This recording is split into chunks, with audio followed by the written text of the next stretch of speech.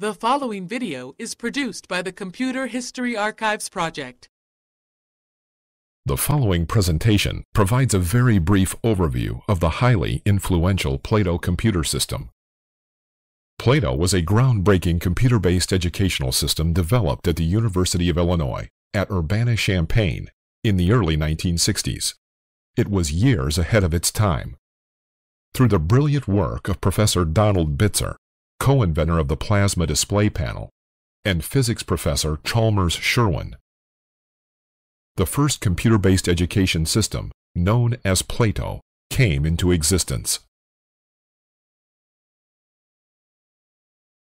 Throughout the 1960s and beyond, numerous talented individuals came together to help design software and courseware for the Plato platform. The acronym PLATO, Plato, stands for Programmed Logic for Automatic Teaching Operations. Plato was the first generalized computer-assisted instruction system. In many ways, Plato laid the foundational designs for later advancements in the field of computer-based education. It also introduced new functional concepts to the world of electronic teaching aids and electronic communication, such as the plasma display screen, touchscreen input, interactive graphics, electronic mail, and others. The Plato system began around 1960 at the University of Illinois. Initially, it ran as a one-terminal system connected to the ILLIAC computer. The first Plato system was a single student workstation connected to the university's ILLIAC 1 computer. The Plato 2 had two student stations, connected first to the ILLIAC 1 and then later to a CDC 1604 computer. By 1963, the Plato 3 system was running on a Control Data Corporation Model 1604 computer, supporting multiple simultaneous users. The Plato system used a special-purpose programming language called Tutor, which was developed in 1965 by Paul Tenczar the tutor language allowed one to write educational software. In 1967, using grant funds, Donald Bitzer established the Computer-Based Education Research Laboratory, CERL, at the university. By 1972, the Plato system had grown to over a thousand simultaneous users and was hosted on a CDC cyber mainframe. In 1973, Plato Notes, an application created by David R. Woolley, was among the world's first online message boards, an early social media platform. In 1976, Control Data Corporation, a large-scale computer manufacturer at the time, acquired the rights to commercial production and marketing of the Plato system. By 1978, CDC operated a Plato system network utilizing CDC Information Systems terminals, accessing a CDC cyber mainframe. A notable milestone of over 10 million terminal contact hours was reached in 1979. By 1981, there were 18 Plato systems, 10 owned and operated by Control Data Corporation and 8 run by universities. During the early 1980s, CDC made Plato available for microcomputers through a variety of computer makers, including IBM, Tandy Radio Shack, Texas Instruments, and Atari.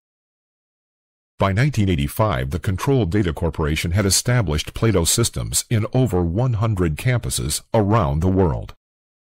In 1986, Plato courseware became available on local area networks for personal computers. Control Data Corporation sold the Plato name and software to TRO Incorporated in 1989. In 1992, TRO Inc changed its name to Plato Learning. In 2012, Plato Learning merged with Archipelago Learning, and today the combined company is called Edmentum.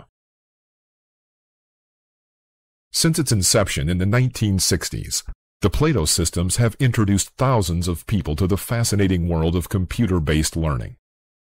The development energies that went into the Plato systems have greatly benefited the technology industry in general and the educational field in particular with memories spanning decades. We hope you enjoyed this very brief look at Plato's long and fascinating history. To explore the world of Plato's systems further, please see the following resources.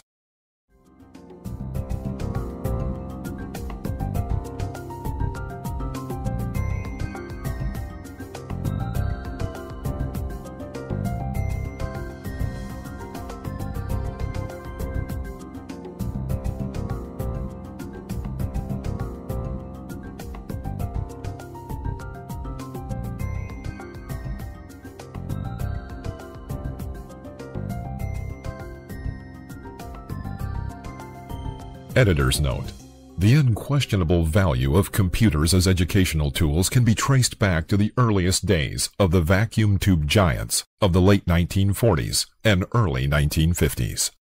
Scientists, mathematicians, and engineers in the military were among the first to recognize the potential importance of utilizing computers in the training of personnel. Early training focused not only on the use of computers themselves, but training in concepts of weapons control, logistical tracking of supplies and aircraft, defense monitoring, and improvement of human-computer interaction and responsiveness. Military funding for early computer research was the genesis for later advancements in computer-based education, CBE, and computer-assisted learning, CAL.